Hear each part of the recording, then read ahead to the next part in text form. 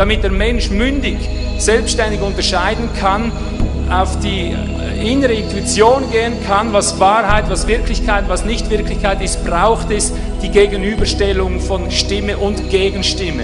Erst wenn beides sich ereignet, erst wenn beides an den Menschen herantritt, kann er innerlich auf einen Kurs kommen, den ich als mündigen Kurs einmal bezeichnen würde. Ich spreche von der intuitiven Wahrnehmung.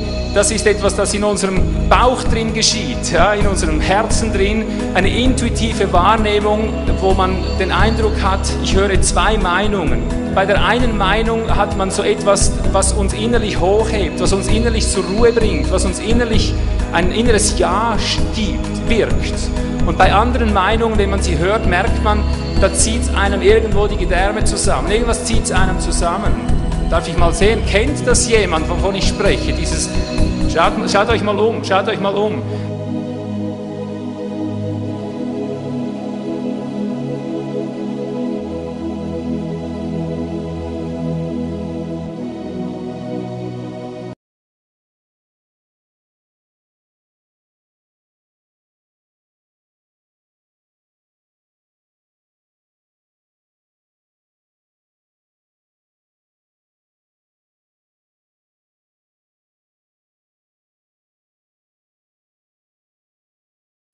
Gut, jetzt möchte ich den ersten Referenten vorstellen. Es ist Dr. Johann Leubner. Er wird heute über Impfgeschichte, Impfhintergründe sprechen.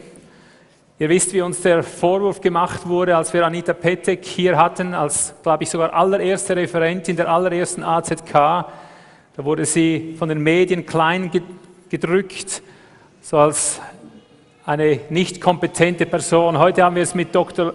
Äh, Johann Leubner zu tun, also jetzt ein Mann vom Fach. Ich stelle ihn kurz vor. Er ist 1944 geboren, Vater von vier Kindern, verheiratet, hat in Graz studiert, war dann einige Jahre in der Kassenpraxis tätig und da wurde für ihn klar, dass er noch weiter studieren muss. Er hat dann viele Jahre studiert Homöopathie, auch Kneipmedizin, hat dann acht Jahre lang für Medizinstudenten und Ärzte an der Universität Graz Seminare gehalten, sie ausgebildet.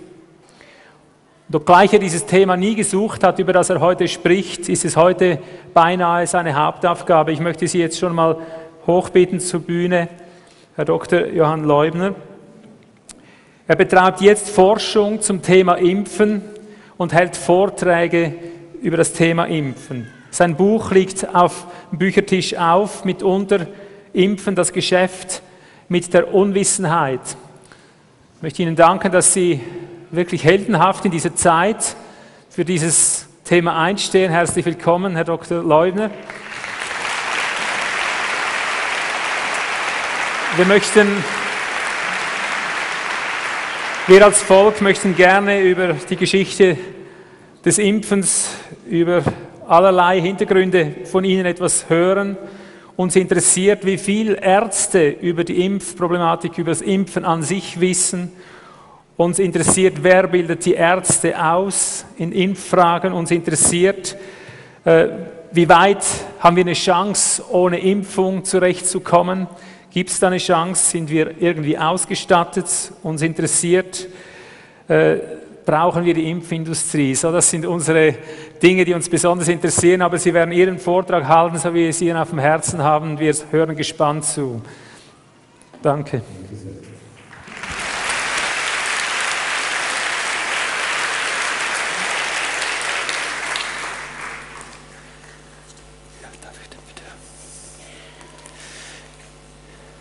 Ich möchte mich äh, für das Vertrauen bedanken, in die Schweiz eingeladen zu werden, und zwar gerade zu AZK.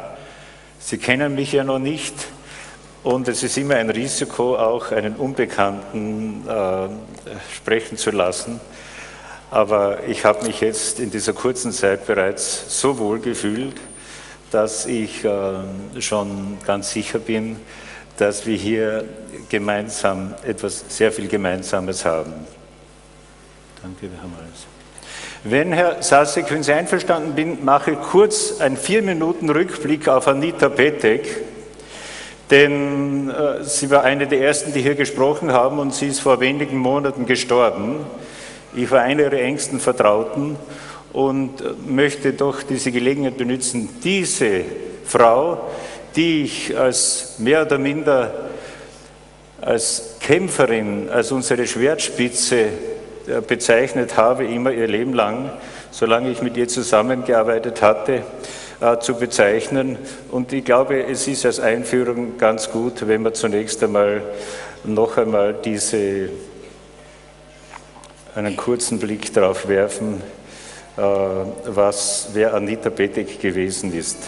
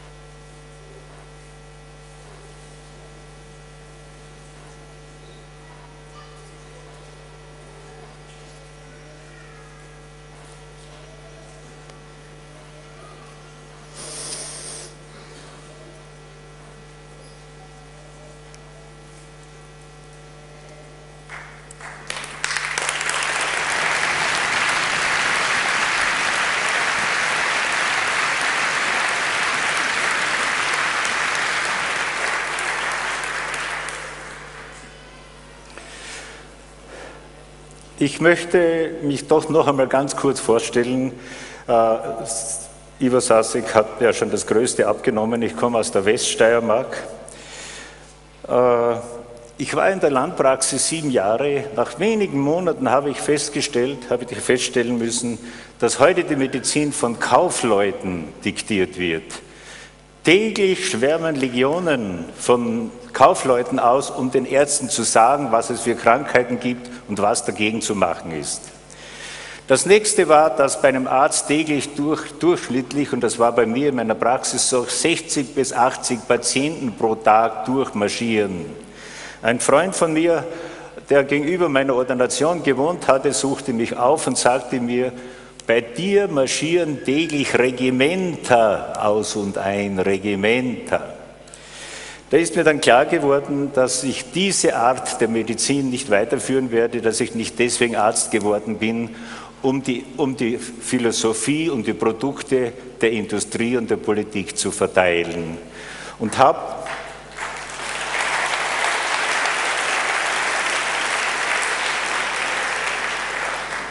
und habe dann eine gut gehende, praktisch eine sogenannte Praxis Aurea, das nennt man eine Goldgrube. Ich war in der reichsten Ortschaft von Österreich, Feitscher Magnesit, ein Weltkonzern. Dort ist mir nichts abgegangen. Habe ich dann gemeinsam mit meiner Frau eine gut gehende Praxis aufgegeben, habe mich dann in eine kleine Privatpraxis nach sieben Jahren zurückgezogen und von vorne begonnen. Am Ende dieser Zeit ist es von heute auf morgen plötzlich eine Krankheit aufgetaucht, von der wir nur unter ferner Liefen gehört hatten im Studium, nämlich von der Zeckenhirnhautentzündung und Zeckenhirnerkrankung. Ja? Das hat bis damals hat das keine Rolle gespielt. Diese Krankheit ist plötzlich aufgetaucht, nachdem ein Impfstoff da war. Und was ist passiert? Eine Gruppe von Sportlern hat mich aufgesucht und bat um diese Impfung, weil diese Sportler als sogenannte Orientierungsläufer als sogenannte Orientierungsläufer im Wald waren. In den ersten Jahren äh, der FSME, dieser Zeckenhirnentzündung, galten die äh, Zecken als Bewohner des Waldes, weil da drinnen ist es finster. Da drin ist finster, da drin ist Nacht, hm? da drin ist finster. Jahre später sind wir draufgekommen, dass die Zechen vorwiegend auf der Wiese zu treffen sind. Jedenfalls, diese Leute sind zu mir gekommen und baten mich, ihnen diese Impfung zu geben. Das habe ich getan. Damals habe ich mit Impfung noch nicht viel zu tun gehabt. Also schon, ich habe geimpft, meine eigenen Kinder auch. Und einer von diesen erkrankte akut zwei Stunden, nachdem ich diesen Mann geimpft hatte. Die Frau ruft mich an, er kann seinen Kopf nicht bewegen, er hat furchtbare Schmerzen, er hat hohes Fieber. Da wusste ich, es handelt sich um eine Gehirnentzündung. Und ich, er wohnte nur ganz kurz in der Nähe von mir und da habe ich ihn drei Tage intensiv behandelt und es ist mir gelungen, dass er wieder gesund wurde, ohne dass ich ihn ins Spital schicken musste. Ich war sehr glücklich. Monate später habe ich dann meine kleine Privatpraxis begonnen Kommt eine Mutter zu mir, ihr Kleiner hat nach dieser FSME-Impfung, nach dieser Zechenimpfung Neurodermitis bekommen. Viele Menschen kennen das. Furchtbarer Hautausschlag, ein furchtbares Leiden. Später kommt dann eine Mutter, ihr Mädchen hat nach einer Zechenimpfung ähm, Asthma bekommen. Na, habe ich gestanden.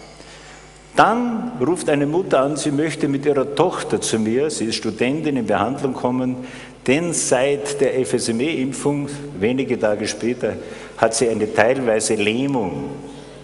Da versprach ich ihr, voll erfüllt von meinen Erfolgen, sie wird kommen und sie wird wieder gesund werden. Einen Tag bevor sie hätte kommen sollen, ich hatte da eine Terminpraxis, ruft sie mich an, die Tochter kann nicht kommen, sie ist gestorben. Und nach diesem Ereignis habe ich begonnen, das Thema Impfung von der Geschichte her zu studieren, insbesondere die Mikrobiologie und ein neues Medizinstudium zu beginnen. Dann ist Frau Anita Bettig nach Österreich gekommen und hat uns eingeladen und den Weg geöffnet, dass wir auch EGES Österreich gemeinsam mit meiner Frau gegründet haben, wo wir den Menschen aufklären. Nun, ich habe dann begonnen, Artikel zu verfassen, Vorträge zu halten und es hat nicht lange gedauert, bis ein Impfstoffhersteller, ein sehr prominenter Impfstoffhersteller, bei der Ärztekammer vorstellig wurde und für mich Berufsverbot verlangte und bezeichnete mich in der Anklageschrift als militanten Impfgegner. Ich trage keine Handgranaten, ich trage kein Panzerhemd. Nun, es hat nicht lange gedauert, es waren drei Jahre ein Disziplinarstrafprozess und ich habe dann nach drei Jahren bedingtes Berufsverbot erhalten, wenn ich keine Vorträge mehr halte. Ich bin ein Weststeirer und das heißt, ein Weststeirer Blut ist kein Himbeersaft. Ich habe,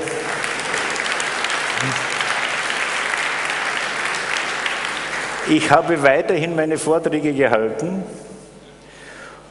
und da ist es diesem Impfstoffhersteller nichts anderes übrig geblieben, sich an die Frau Bundesminister für Gesundheit direkt zu wenden.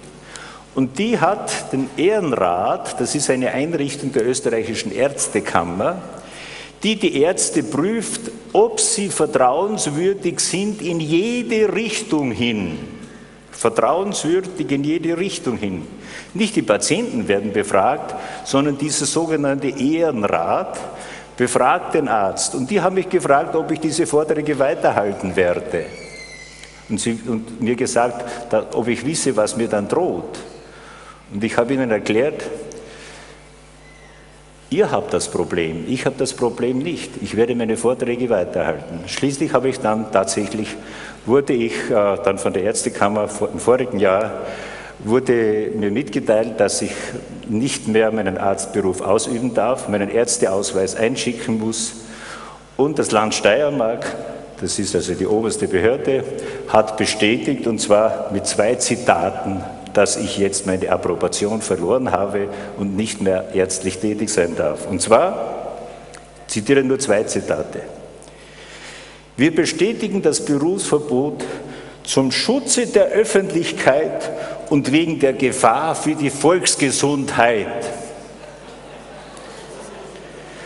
Und es steht ihm ja frei, seine Meinung zu äußern. Aber was er nicht darf, er beeinflusst die unwissende Patientenschaft. Er beeinflusst die unwissende Patientenschaft. Soweit meine Vorstellung und jetzt zum Vortrag.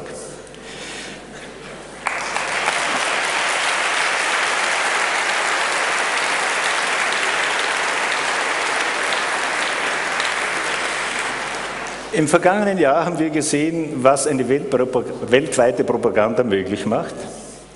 Und es geht hier bei diesem Vortrag mir um eines, dass wir alle nachdenken beginnen, was erzählen die uns, wer erzählt das, warum erzählen die uns das. Denn jeder von uns ist verpflichtet, sich Bildung zu erwerben. Und Glauben das ist ein ganz intimes Ereignis, das ist mein persönlicher Glaube. Aber was wir wissen müssen, das müssen wir lernen. Mein Buch heißt übrigens Impfen das Geschäft mit der Unwissenheit, ist dann am Büchertisch. Und jetzt Nummer eins. Es wird uns allen erzählt, bei allen Behörden, Impfen ist die effektivste und die erfolgreichste Einrichtung der modernen Medizin gegen die Krankheit. Mit Impfen wurden Bocken und Polio und, und, und ausgerottet und so weiter. Und jetzt erzähle ich Ihnen, was wir nicht wissen. Die Heilkundigen, hier, hier Kneip und hier Hahnemann, doch sehr bedeutende Menschen deutscher Geschichte, deutscher Sprache, haben nicht geimpft. Das heißt, alle großen Heilkundigen haben nie geimpft. Auch, ich möchte also Dr. Brucker auch zu den Großen erzählen dieser Zeit, hat sich gegen die Impfung ausgesprochen. Und ich möchte auch hier Hildegard von Bingen auch anführen, eine weitere Deutsche, die natürlich nicht geimpft hat. Warum sagen Sie? Ja, weil das eine moderne Medizin erst in der modernen Zeit ist. Nein, Sie irren sich. Die Impfung hat es schon immer gegeben, und zwar in Indien und in China wurden Menschen geimpft. Und zwar, wie hat das funktioniert? Bocken hat es immer gegeben, zu allen Zeiten hat es immer gegeben und besonders im 17., 18. bis 19. Jahrhundert hat es bei uns in Europa und in Asien, praktisch also in den zivilisierten Ländern, Bocken immer gegeben. Man hatte den Eindruck, wenn man Bochen überstanden hat, dann gehört man erst zu den Lebenden. Und das war auch so. Das russische Infanterieregiment Litauen hatte nur bockennarbige Männer aufgenommen in ihr Regiment. Also nicht Männer mit schöner Haut, mit zarter, sanfter, glatter Haut, sondern nur echte Männer, die entstellt waren buchstäblich, weil von denen wussten wir, dass wenn die halten das aus, die haben eine gesunde, starke Natur, wenn die Bocken überstanden haben, mit denen, vor denen, da brauchen wir nicht Angst haben um die. Und die indo-osmanischen Sklavenhändler haben ihre Sklaven, das Kinder waren oder Jugendliche, junge Männer, zuerst gegen Bocken geimpft. Man hat ihnen die Haut aufgeritzt und von bockenkranken Menschen, die es immer gegeben hat, die Bläschen entnommen und aufgetropft. Das war das Inokulieren, das Impfen. Die, die es überstanden haben, für die haben sie dann ordentlich Geld bekommen. Und dann war es schließlich Napoleon, der das da unten gesehen hat und dem hat das sehr gut gefallen. Und dieser Mann war es, der die Impfpflicht eingeführt hat. Auf ihn ist das ganze Impfpflicht und das Impfwesen zurückzuführen. Der hat das als absolut, absoluter Herrscher angeordnet. Da gab es keine gesundheitlichen Überlegungen, sondern das war Hoheitsakt. Er hat auch die allgemeine Wehrpflicht eingeführt. Der hat auch die äh, Hausnummern eingeführt. Warum? Weil er gewusst hatte, in diesen und jenen Straßen und Häusern, Stadtteilen, da gibt es noch Männer, die er zur Rekrutierung gebraucht hat. Er hat zuerst in Frankreich alle Kinder, alle Spitäler dort durchimpfen lassen und schließlich dann seine Soldaten. damit Sie wissen, was Impfen ursprünglich war, das ist ein Schutzbocken-Impfungszeugnis aus Österreich aus dem Jahre 1856. Die Geimpften mussten sieben Tage nach der Impfung vor dem Impfarzt erscheinen und es wurde ihnen bestätigt, dass eben der Unterzeichnete mit Schutzbockenimpfstoffe geimpft worden ist und die echten Schutzbocken ordentlich überstanden hat. Das heißt, wenn der es überlebt hat, wenn der gesund war, und das waren unter 180 bis 90, fünf davon sind regelmäßig gestorben und weitere zehn waren regelmäßig verunstaltet, blind, taub, gelähmt, äh, behindert. Das war das Zeugnis und dann hast du bekommen einen Staatsposten, einen Militärposten. Das war eine Auslese. Schutzbocken, natürlich. Da waren dann einige Jahre, wenn alle geimpft waren, die Kranken waren weg. Und dann konnte man den Menschen erklären, wir sind jetzt geschützt. Das wäre, wie wenn ich heute von den Kranken und Schwachen die ausrotte und dann haben wir lauter Gesunde. Das war die Idee. Napoleon war ja kein Menschenfreund, er war ja kein Wohltäter. Er war ja nicht, dem die Menschenrechte was gegolten haben. Und aus diesem wurde dann die Schutzimpfung aus einer ursprünglichen Auslese, aus einer Musterung. Den Leuten hat man 100 Jahre erklärt, wir treiben die Krankheit von innen nach außen. Erst Paul Ehrlich hat das erklärt, dass wie der Körper Antikörper erzeugt. Das war um die Jahrhundertwende von, 18, von 1900 herum. Das ist bitte ein Modell, das war eine Theorie, denn er hat noch keinen einzigen Antikörper gesehen. Was heute Antikörper sind, die moderne Molekularbiologie, das ist etwas ganz was anderes. Wir haben x verschiedenste Antikörper und verschiedene Antikörpergruppen. Das war nur eine Spekulation. Nicht? Und was hat Edward Jenner, weil Sie, weil Sie viele hören, Edward Jenner hat also die Bockenimpfung erfunden und so weiter. Das stimmt gar nicht. Er hat die verhängnisvolle Idee gehabt, Bockenbläschen von Menschen auf Kuhäuter aufzutropfen, auf aufgeritzte Kuhäuter. Und was hat das für einen Vorteil gehabt? Das hat den Vorteil gehabt, dass man schließlich Kuhäuter und die ganze Bauchhaut aufgeritzt hat dort Bockenflüssigkeit hineingetropft und dann konnte man eimerweise Bockenimpfstoff bekommen dafür. Und damit hatte die Grundlage für die Impfindustrie geschaffen. Das heißt, Napoleon und Jenner haben die Impfindustrie geschaffen. Zig Millionen in Europa mussten geimpft werden. Damit hat er überhaupt den Grundstein zur Impfindustrie und zur Pharmaindustrie gelegt. Sie das mal wissen. Nun, es ist nicht so, dass dass, äh, dass uns das so klar ist. Die Impfung übersteht nur der Starke, der Schwache übersteht es nicht. Er ist also nicht geschützt, weil er geimpft ist, sondern er ist geschützt, weil er einzig gesünder ist, von Natur, eine gesündere Natur hat. Und viele haben die Impfung nicht überlebt. Das war so arg, außer in der Schweiz. Da hat übrigens im Kanton Bern ein Arzt so lange gekämpft, bis die Impfpflicht in der Schweiz abgeschafft wurde. Das war Ende des 19. Jahrhunderts. Ein Freund von mir hat vier Kinder. Das jüngste, sein Mädchen, Maria, war ein Jahr alt. Sie ist, äh, hat eine Durchfallerkrankung erlitten und war sehr geschwächt und musste dann zum vorgeschriebenen Bockenimpftermin erscheinen beim Amtsarzt. Ursprünglich waren die Impfärzte Militärärzte und eigens dafür bestellte Amtsärzte.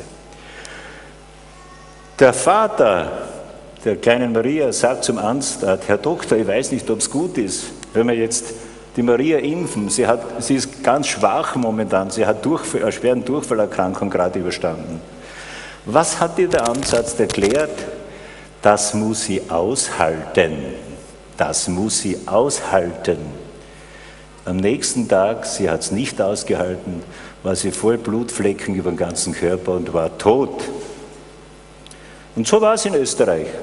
Da haben die Leute gesagt, ja, heuer hat es eine starke Spritze gegeben. Voriges Jahr war nicht so viel passiert. Wir müssen nicht vergessen, es ist nicht so, wie uns erklärt wird, dass durch die Impfung dann bekommen wir im Körper geheimnisvolle Antikörper, die dann die bösen Viren und Bakterien besiegen.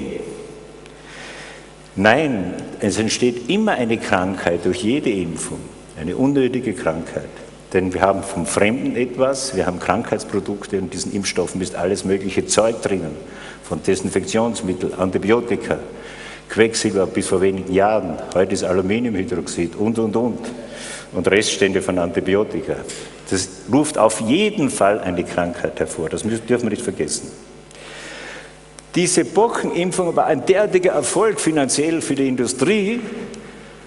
Natürlich hat es nicht lange gedauert und neue Impfungen mussten her. Hm? Tetanus, die Louis Pasteur Institut, das waren also die großen Mutter, Mutterland der Impfhersteller, hat nie funktioniert. Tuberkuloseimpfung, BCG-Impfung wurde schließlich nach, erst nach Jahrzehnten endlich verboten, weil wir gesehen haben, dass es mehr anrichtet als nützt. Die Polio, Bitte, die Polio ist nicht verschwunden, die Kinderlähmung, weil wir geimpft haben, sondern weil sich die Ernährungsverhältnisse geändert haben. Nach dem Krieg hat es nur ein Nahrungsmittel gegeben, vorwiegend, das war Zucker und Weißmehl. Ich selbst bin noch aufgewachsen, ich habe als Bub noch vor Hunger Zucker gegessen. Und so war es in den industrialisierten Städten insbesondere. Da war Fleisch, Milch, Brot, Gemüse, Obst, das hat es da ist immer Mangel gewesen. Aber was uns die Zuckerindustrie angeboten hat, äh, süße Getränke, Eis, verschiedenste Zucker und alles diese Dinge, das war im Übermaß da. Und das hat zu einer, zu einer Störung des Zuckerstoffwechsels geführt und zu einer ständigen Bedrohung und Unterzuckerung. Und wenn diese Leute dann körperliche Anstrengungen hatten oder eine, eine, eine fieberhafte Erkrankung, dann ist die Kinderlähmung aufgetreten. Das ist erst verschwunden, seitdem Kühlhäuser und später Kühlschränke und die allgemeine Versorgung wieder, äh, wieder gegeben war und damit ist die Polio verschwunden. Und später, erst seit, seit 40 Jahren, beginnt eine richtige Inflation. Eine Inflation von Impfungen. Masern, Keuchhusten, Röteln, Hepatitis, Hip, Mumps, Schafblatt und Zecken und so weiter. Ein, ein Kollege hat mir gesagt, ich habe gar nicht gewusst, dass es so viele gefährliche Krankheiten gibt. Ja? Die Väter der Modelle waren diese drei Leute. Robert Koch, er hat erklärt, ein einziger Bacillus, wenn der in deine, deinen Organismus kommt, vermehrt sich und dann kriegst du ein, ein, ein folgenschwerer Irrtum. Paul Ehrlich, der, der ist ja von der Firma Höchst, hat er jede Mittel bekommen, alle, alle Unterstützung hat er bekommen. Der war ein Chemiker, ursprünglich auch Militärarzt. Der hat erklärt, wir müssen chemisch zielen lernen. Chemisch zielen lernen. Und Emil von Behring, das war überhaupt der Schlauerste, der hat also dieses, Anti, dieses Antitoxin gegen Diphtherie und gegen Tetanus entwickelt. Der hat ständig Eingaben gemacht beim Ministerium in Berlin und, äh, und schließlich ähm, äh, auf seine Werke hingewiesen, die rundherum nicht gestimmt haben, die nachvollziehbar waren. Er war sehr klug und hat schließlich den ersten Nobelpreis bekommen der Medizin und hat sich als Retter der Kinder feiern lassen. Er hat ein großes Vermögen angesammelt, hat riesen Ländereien gehabt, damit er die Pferde züchten kann, die er für das Diphtherie-Serum und Toxinserum äh, vertreiben kann. Schließlich war er noch schlauer als alle anderen, er hat sogar die Bering-Werke gegründet. Also der hat also am besten verstanden, aus der aktuellen Zeit Geld zu machen.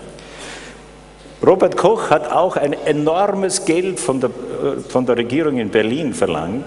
Der Reichskanzler Caprivi hat damals erklärt, mag die Zeit nicht fern liegen, in der die Wissenschaft zumeist als eine Dienerin der Industrie erscheinen wird, noch sind wir nicht so weit. Das war damals vor 1900. Und jetzt gleich, es wird uns erklärt, wir können Krankheiten ausrotten, nicht? Wir haben Krankheiten ausgerottet. Wir können keine Krankheit ausrotten. Wir können nur die Bedingungen, die zur Krankheit führen, ausrotten, die Lebensumstände bessern. Die Pest ist ohne Impfung verschwunden, weil ganz einfach mehr zu essen da war an Sauberkeit. Die Bochen ausschließlich ein Verdienst der ausreichenden Ernährung und der sauberen Lebensbedingungen. Die Polio habe ich schon erklärt. Wenn die das ernst meinen, WHO und Konsorten, dann würden sie aufklären statt Schrecken verbreiten oder wie wir heute bereits gehört haben, Drohungen aussprechen. Sie sprechen Drohungen aus. Daran kennen wir, wer uns liebt und wer uns ausbeuten will, wer uns bedroht. Diese solchen Bedingungen waren es. Vier, fünf, sechs, sieben Leute in einem Kellerloch, kein, keine Wasserleitung, kein Fließwasser, kein Kühlschrank, keine entsprechende Heizung, keine Kleider, keine Krankenpflege. Erst das war es. Erst wenn das verschwunden ist, dann sind die Seuchen vergangen. Und dann noch etwas. Sie drohen uns immer mit Ansteckung, nicht? Das ist ein Zauberwort. Und ich kann hier nur ganz kurz etwas erwähnen. Ausführlich habe ich das Thema Ansteckung in meinem Buch behandelt.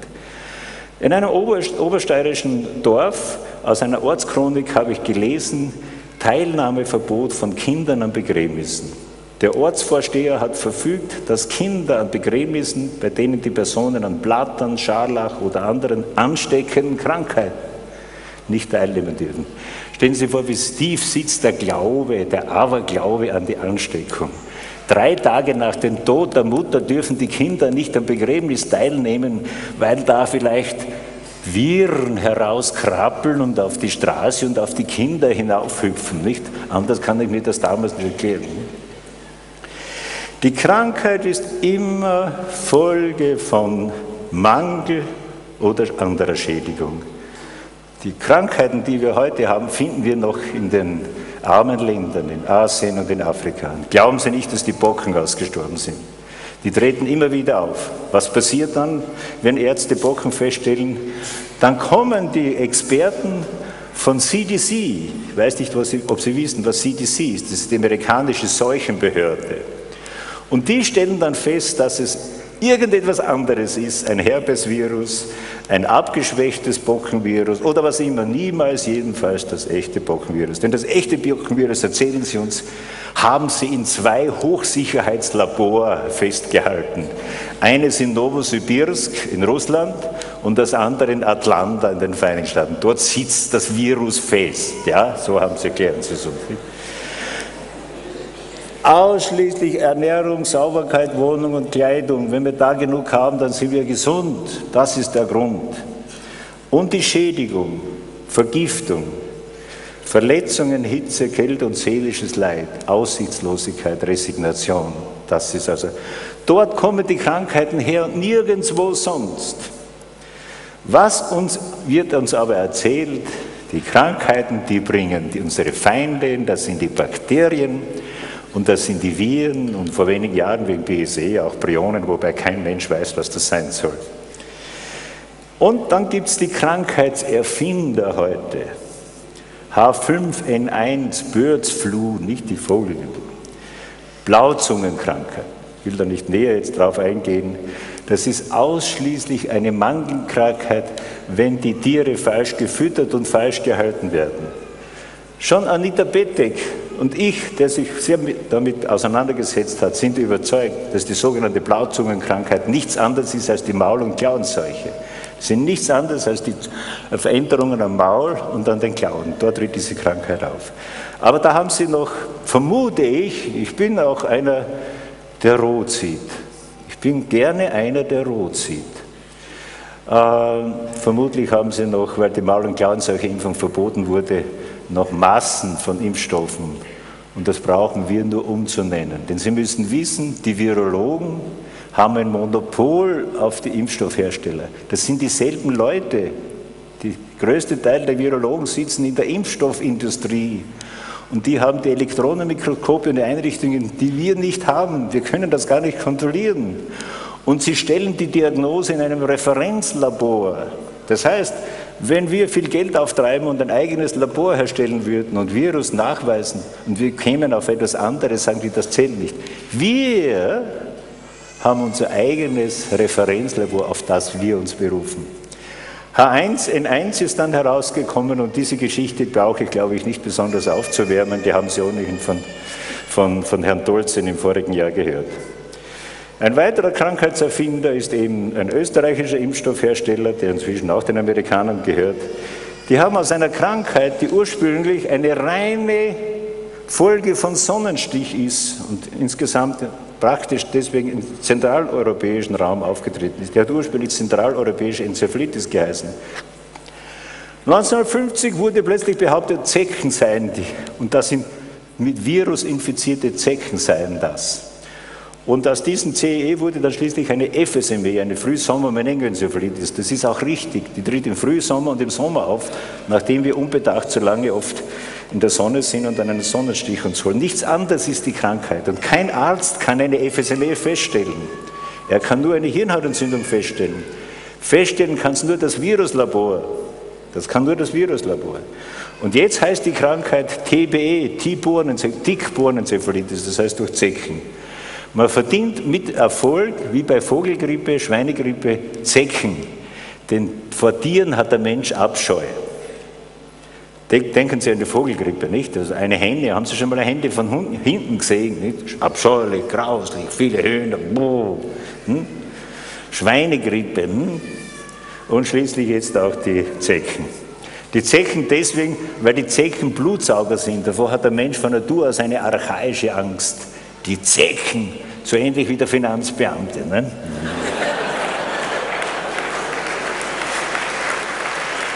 Das müssen wir lernen. Und wenn ich Lehrer werde, würde ich meinen Schülern nichts anderes beibringen, Monat für Monat. Heute habt ihr in der Zeitung gelesen. Wer hat das geschrieben? Was will der damit sagen? Ist das zu glauben? Wir müssen es so machen wie dieser Hund. Schauen Sie bitte genau hin.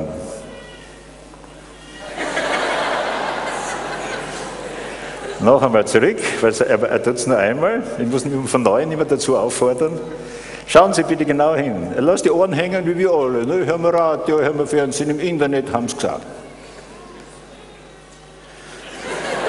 Das ist, was wir lernen müssen. Und jetzt, jetzt das Propagandainstrument schlechthin, das Virus. Alles ist Virus, das müssen Sie wissen. Der römische Arzt vor 2000 Jahren, Aulus Publius Celsus, der hat praktisch alles das, was wir nicht wussten, ganz einfach als Krankheitsursache Virus genannt, weil Virus ist das Gift. In der Römerzeit sind die Leute, hat drei Todesursachen gegeben. Das meiste war das Schwert der Feinde, durch das Schwert umgekommen.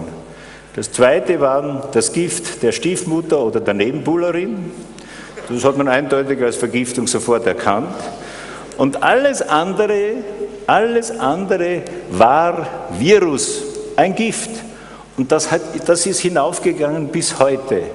Pestvirus, obwohl wir heute wissen, das ist ein Bakterium, Pastorella äh, pestis oder, oder Malaria ist kein Virus, sondern ein Plasmodium oder Bocken. Man hat also mehrere Male immer gemeint, man hat es gefunden. Man hat, auch heute ist es so, dass wir zu jeder Krankheit, die neu auftaucht, ein neues Virus haben und vermischen diese Begriffe sogar. 1937 hat der bedeutende Hygieniker aus Rostock, Universität Rostock, Kollat, noch geschrieben in seinem Lehrbuch das unsichtbare Virus, Virus insibile, das unsichtbare Virus. Erst seit 1940 steht uns mit dem Elektronenmikroskop ein Diagnostikum zur Verfügung, mit dem wir Zellelemente, die wir Virus nennen, die, die aber ganz etwas anderes sind, denn dieses Virus, was wir heute finden, das erzeugt der Körper selbst. Man spricht deswegen auch von endogenen Viren und ist verantwortlich für die immunologischen Programme, damit wir Fieber bekommen, damit wir äh, Schweißausbrüche bekommen. Das ist nichts anderes und hilft Bakterien aufbauen. Und das ist die Propagandawaffe. Dieses Virus, eine Vorstellung, die einem Dämon gleichkommt, fliegt durch die Lüfte, eine Kugel mit spitzen Pfeilen und so weiter, das unsere Schleimhäute schädigt, so wird uns erklärt. Und so steht es dann auch in den Medien.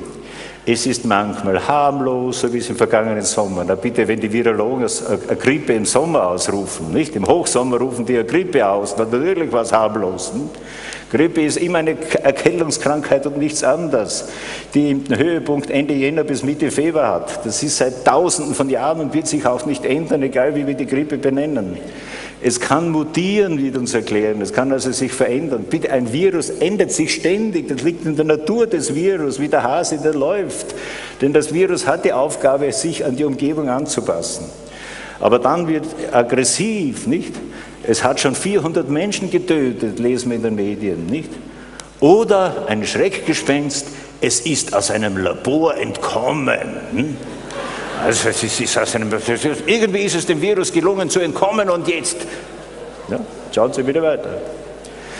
Aus einem Lehrbuch, bitte lesen Sie das durch, aus einem Lehrbuch 1971 für Ärzte, Lehrbuch der Kinderheilkunde, lesen Sie das bitte durch. Das Virus fliegt nämlich, lesen Sie das bitte durch.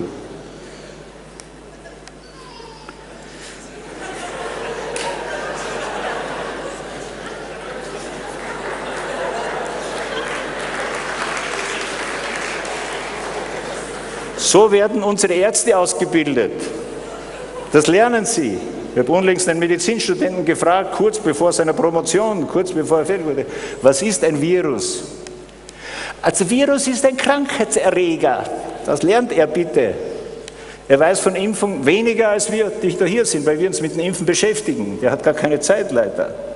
In sieben Jahren Medizinstudium haben wir zwei Stunden, einmal zwei Stunden einen Nachmittag gehabt für Ärzte, wo wir die Technik des Impfen gelernt haben. Aber sonst wissen wir Ärzte genauso wenig wie jeder andere. Und es ist etwas heute passiert, das erstmalig ist in der Geschichte. Es werden Diagnosen gestellt, BSE, Vogelgrippe, Schweinegrippe, die kein Arzt feststellen kann. Das heißt, wir brauchen keinen Arzt mehr, um eine Krankheit festzustellen. Wir brauchen nicht mal einen Patienten, denn wir brauchen nur ein Blut von ihm und in einem fernen sogenannten Referenzlabor wird getestet. Und wenn dieser Test positiv ergibt, dann haben wir diese Krankheit.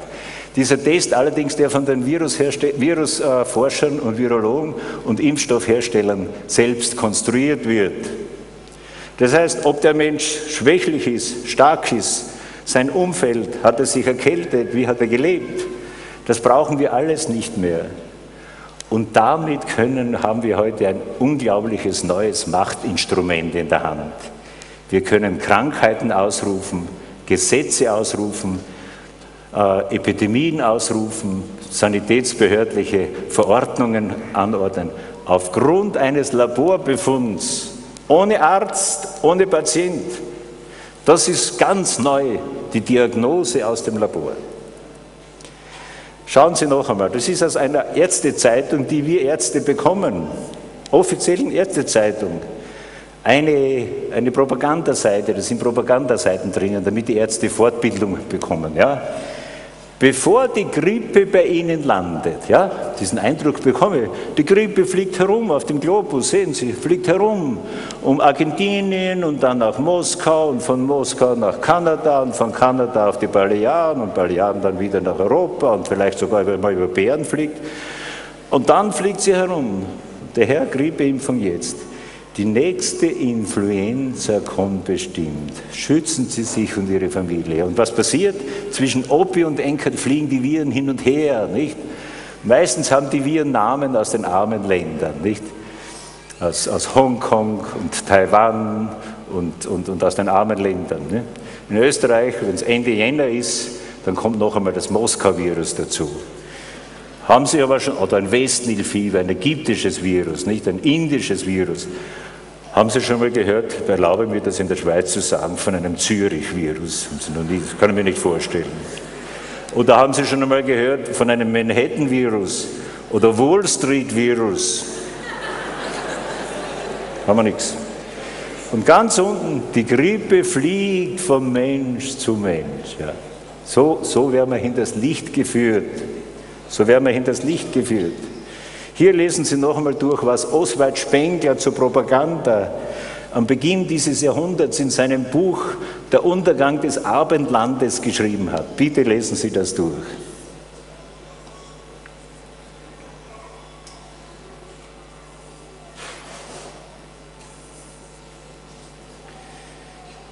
Drei Wochen Pressearbeit und alle Welt hat die Wahrheit erkannt. Bitte, die Grippe ist nichts anderes als eine Folge von Unterkühlung. Influenza di Freddo, nicht? Ursprünglich hat man gemeint die Sterne, aber dann muss man drauf kommen, es ist unter dem Einfluss der Kälte. Es ist eine reine Erkältungskrankheit und hat auch nichts mit Ansteckung zu tun. Wenn unsere Kinder krank werden wollen oder wenn wir selber die Grippe haben wollen, brauchen wir uns nur körperlich überanstrengen am Abend, dann lange in der Badewanne liegen, lang heiß duschen und dann auskühlen, weil am Abend kühlen wir aus und dann kriegen wir am nächsten Tag eines dieser x Möglichkeiten der Grippe, von Schnupfen bis Halskratzen, bis Gliederschmerzen, bis Husten, bis Lungenentzündung, bis Gelenkschmerzen, alles, was es gibt.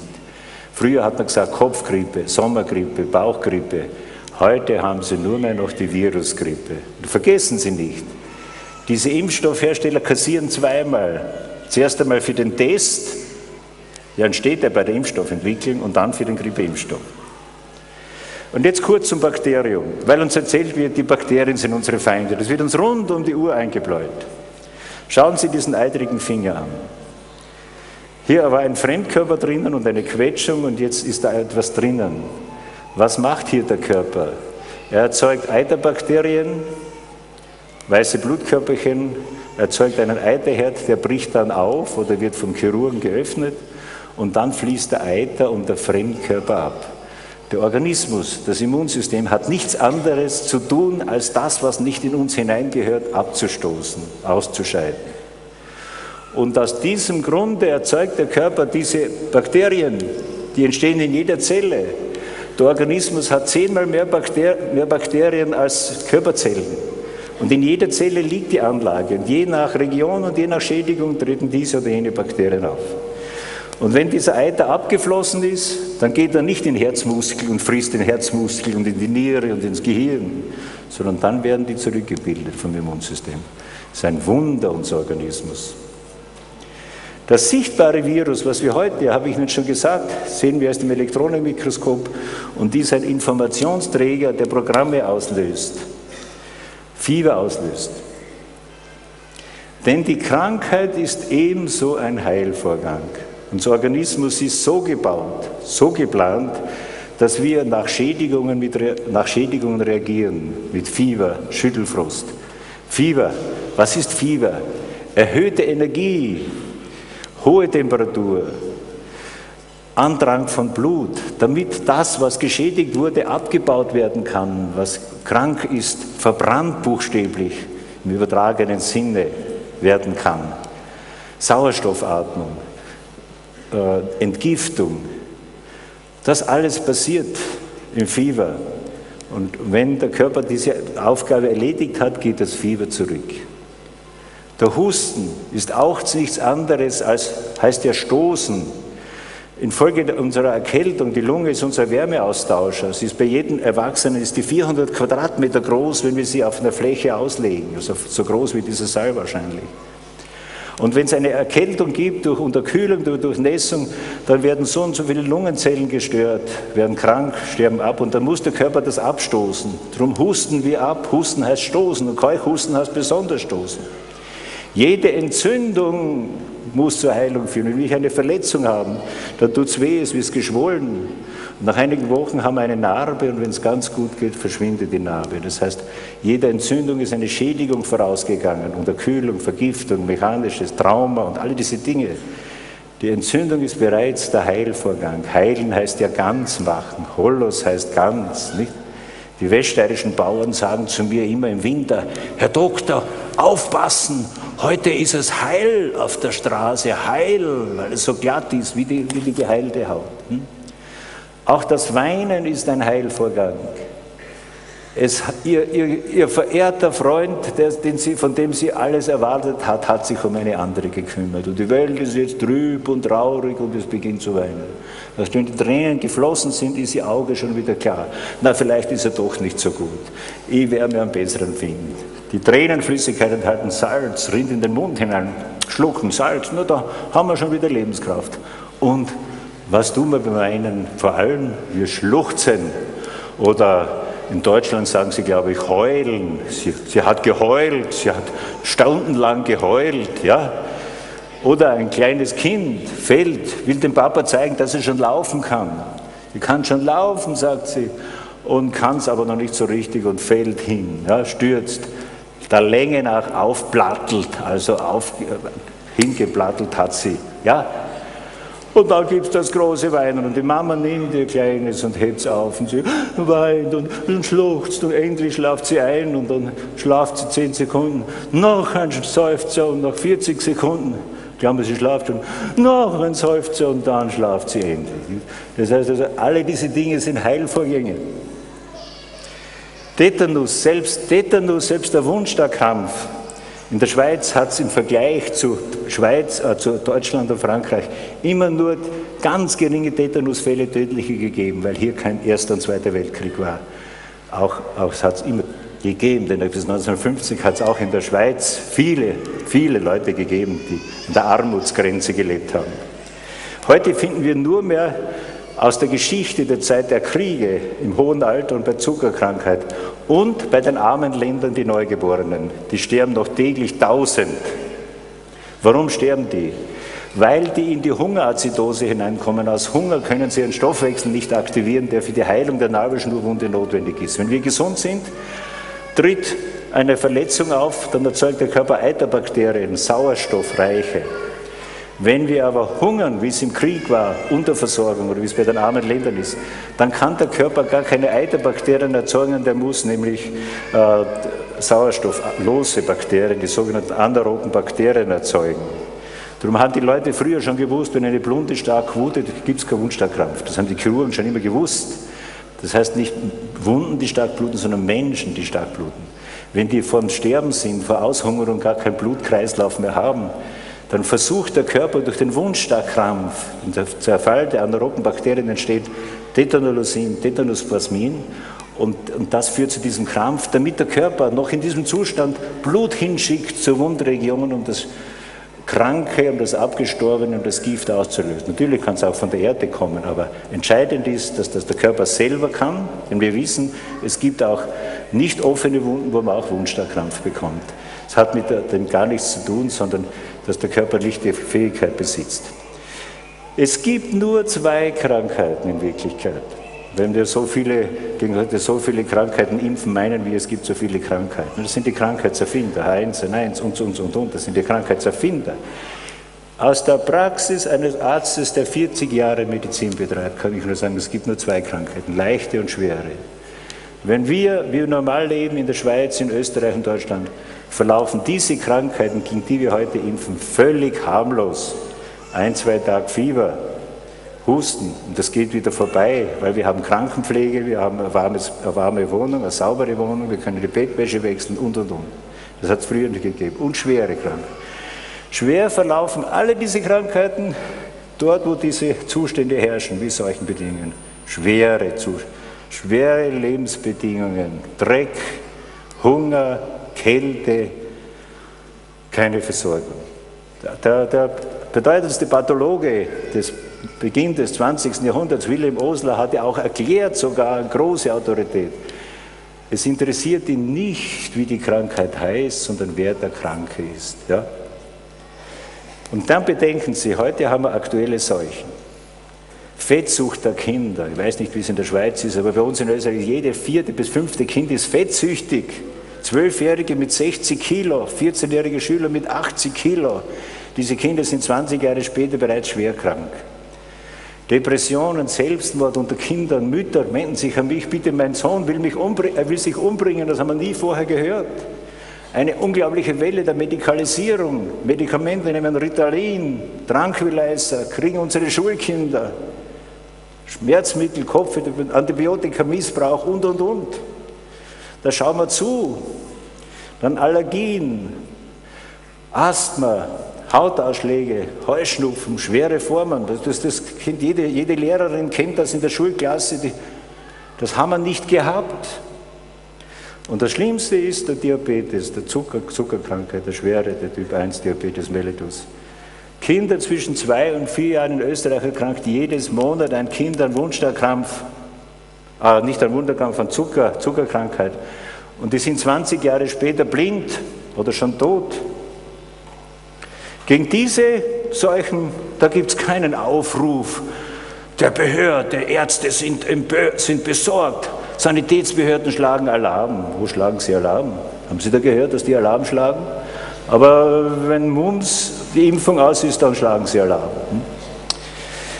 Es hat immer in der Geschichte der Menschheit ganz gewaltige Impfgegner gegeben. Große Denker. Immanuel Kant, der hat davor gewarnt, dass wir von einem anderen dürfen wir nichts in unseren Körper einbringen. Das hat er auch durch seine große Denkkraft hat er das schon erkannt, dass das ein Irrtum ist. Und schon gar nicht von Tieren. Ich weiß nicht, ob Sie wissen, dass heute etliche Impfstoffe von menschlichen Embryonen, von abgetriebenen Embryonen Impfstoffe hergestellt werden. Für den Polioimpfstoff hat man x Embryonen genommen, die man zerstückelt hat und einen Nährboden gezüchtet hat. Ich weiß nicht, ob Sie das wissen. Dann war Albert Russell Wallace, ein Zeitgenosse und Korrespondent von Charles Darwin. Der hat schon erkannt, dass das Impfen ein Vergehen, ein Eingriff, ein unerlaubter Eingriff in die Persönlichkeitsrechte sind. Niemand hat ein Recht, ihnen eine Krankheit einzuimpfen. Keiner hat ein Recht, unsere Kinder krank zu impfen, nur mit der fantastischen Idee, damit es besser geschützt ist. Bitte, das ist eine Verletzung des Menschenrechts, da müssen wir uns wehren. Das geht zurück auf Napoleon, der hat sich nicht darum gekümmert.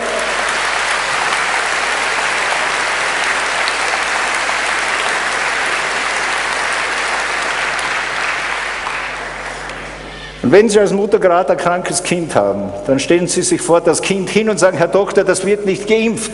Und fertig sind wir.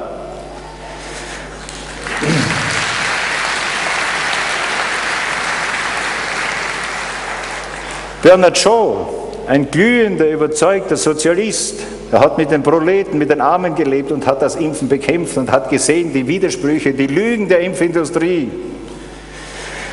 Schließlich Sebastian Kneip, was hat er gesagt? Zuerst lassen sie dich nicht in Ruhe und dann wirst du geimpft und dann bist du ein Krüppel, bist ein Gelähmter, bist ein Hirngeschädigter. Und dann lassen sie dich in Ruhe und dann kümmert sich keiner mehr um dich. Durch einen Widerspruch. Wir lassen unsere Kinder Cola trinken, Pommes frites essen, stundenlang Fernsehen lesen, alles. Aber gegen Rödelimpfung und gegen Schall, da sind wir plötzlich besorgt und müssen die Impflücken schließen. Mahatma Gandhi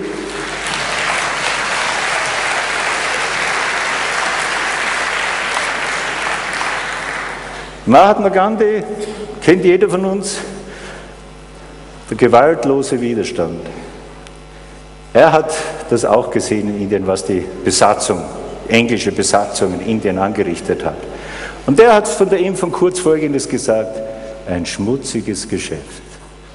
Lorenz Böhler, ich weiß nicht, ob der in der Schweiz bekannt ist, aber ist einer der größten Ärzte der Geschichte. Er ist jener Unfallchirurg, nachdem in Wien die Lorenz Böhler äh, Krankenhaus, das Lorenz Böhler Krankenhaus benannt wurde. Er war jener Unfallchirurg, der als Erster erkannt hat, dass der Knochen heilt. Bis zu seiner Zeit, das war noch im Beginn des 20. Jahrhunderts, musste ein gebrochenes Bein eineinhalb Jahre in Gips, in Gips bleiben, damit sie ja zusammenheilt, weil die Menschen hatten keine Vertrauen zum Verständnis, kein Verständnis für die Heilvorgänge. Und er war der, warum sie heute einen Gips nur für wenige Wochen tragen müssen. Er hat auf seiner Station, auf seinem Spital keine Tetanusimpfung durchführen lassen er, der es gewusst hat, ein großer Denker, der es gewusst hat, Lorenz Böhler, Unfallchirurg, also der hat von der Tetanusimpfung sehr wenig gehalten. Schauen Sie, ich bin schon bald am Ende. Ich habe mehrere, halte jetzt natürlich jetzt seit zehn Jahren diese Vorträge und da ist mir unlängst ist ein Zuhörer aufgestanden und hat mir die Frage gestellt, ja Herr Doktor, Sie haben das jetzt historisch, molekularbiologisch, alles richtig bewiesen. Aber ist das Sache mit der Impfung nicht letztlich doch eine Frage der Einstellung zum Leben? Ist das nicht doch eine Frage der Einstellung zum Leben? Oder überhaupt zum Leben an sich? Ja, das ist es. Das ist es letztlich viel mehr. Es ist es viel mehr. Ist dieses Leben ein Zufall? Ist das einfach zufällig, dass jeder von uns ein anderer ist und nur einmalig ist und dass wir uns heute getroffen haben? Sind die elf Kinder des Ivo Sasek alles Zufälle? Oder ist das einfach ein Nichts? Ist einfach alles zum Nichts und zum Verderben und zur Vernichtung gedacht? Sind die Viren und Bakterien, die sie uns einreden, einfach dazu da, um uns auszurotten? Warum haben sie uns am Leben lassen, die Viren und Bakterien? Warum haben sie uns nicht am ersten Tag aufgefressen gleichzeitig? Warum haben sie das nicht getan? Gibt zwei amerikanische Forscher, Essex und Kankel, lesen Sie meinem Buch, die sagen, ja, die Viren haben das deswegen nicht getan. Wissen Sie warum nicht? Damit sie ihre Nachkommen auch noch was zum Fressen haben.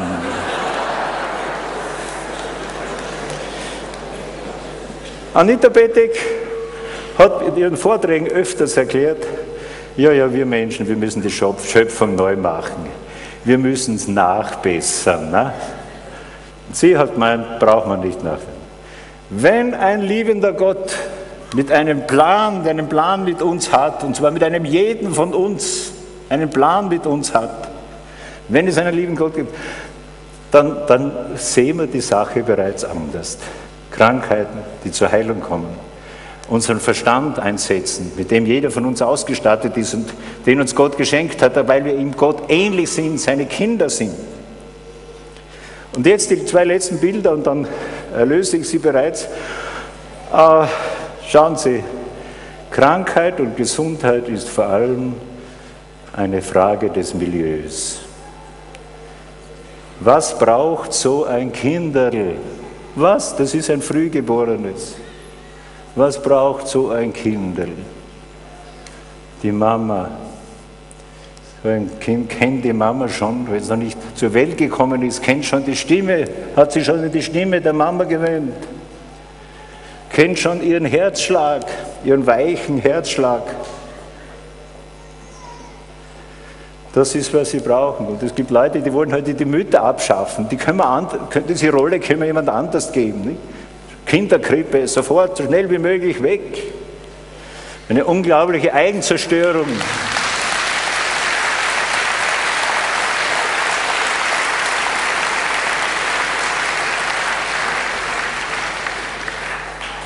Was ist eine Mama? Eine Mama ist eine unglaubliche Erfindung. Ich fürchte, ich sagte, Herr Gott, das Größte, was er geschaffen hat, ist eine Mama.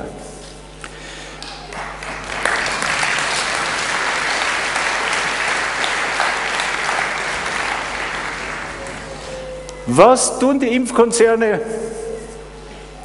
Sie überlegen sich, ab wann wir diese Kleinen impfen können. Was können wir ihnen im zweiten Monat und im sechsten Monat und im zehnten Monat und im zwölften Monat hineinspritzen?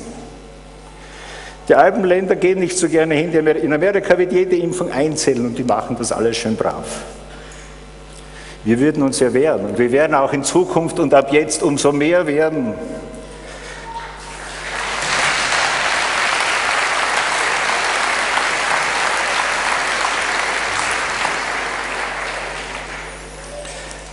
Denn schauen Sie das an. So hat uns der Schöpfer geschaffen. Wenn wir auf die Welt kommen, sind wir mit allen Heileinrichtungen ausgestattet für diese Welt. Der Mensch ist ja geschaffen für diese Welt, die Pflanze, die Tiere, das Land. Das hat ja den Sinn dieser Schöpfung. Und wenn wir uns bei der Geburt, wenn wir die Kinder verletzen bei der Geburt, Bluterguss, dann kommt ein Blutstocken und das verblutet nicht verletzt sich das Schlüsselbein bei der Geburt. Im gleichen Augenblick beginnen die Heilvorgänge, es beginnt Faserbildung, Schonhaltung und es beginnt die Kallusbildung. Und nach mehreren Wochen ist das Schlüsselbein wieder dort, wo es hingehört und wieder zusammengewachsen. Deswegen, weil wir so ausgestattet sind und zum Leben berufen sind und was weiterzubringen und jeder in seinem Beruf was zusammenzubringen. Deswegen sind wir geschaffen, einmalig geschaffen. Und wenn wir das bedenken, dann können wir uns wieder hinaustrauen und nicht vor Viren und Bakterien und auch nicht vor diesen Propagandasprüchen bedrohen und Angst machen lassen. Denn er sättigt alles, was da lebt, mit Wohlgefallen. Vielen Dank für Ihre Aufmerksamkeit.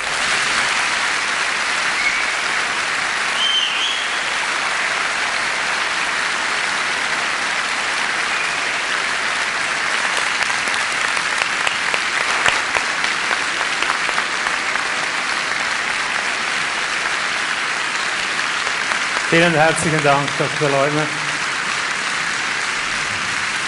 Wunderbar.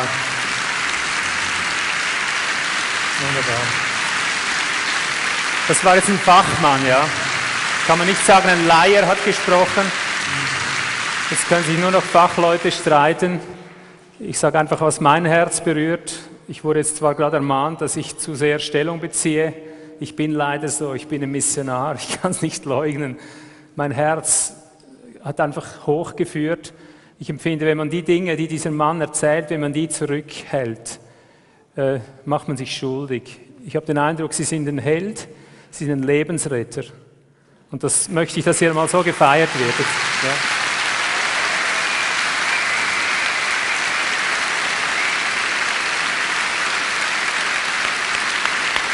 Vielen Dank, dass Sie da waren.